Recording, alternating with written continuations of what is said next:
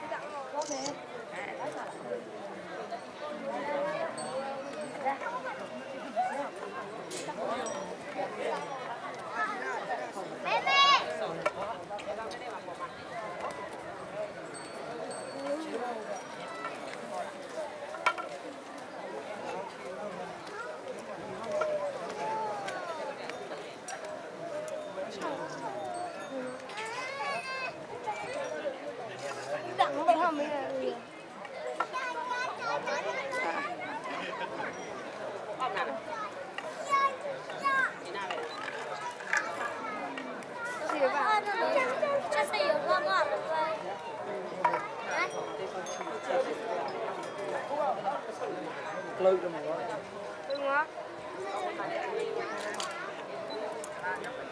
ai các bạn là một